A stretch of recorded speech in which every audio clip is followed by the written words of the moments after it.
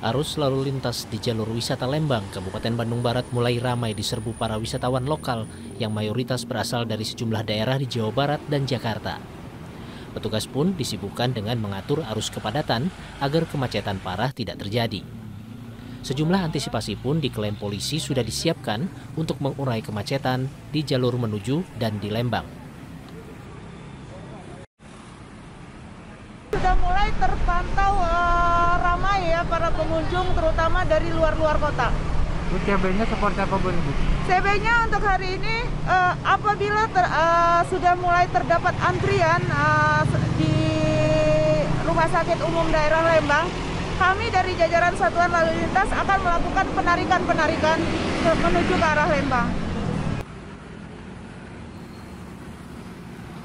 Diprediksi kepadatan arus lalu lintas di jalur wisata Lembang akan terjadi pada 30 Oktober 2020. 50% kekuatan personil Lantas Cimahi dikonsentrasikan untuk mengatur lalu lintas di sekitar Lembang.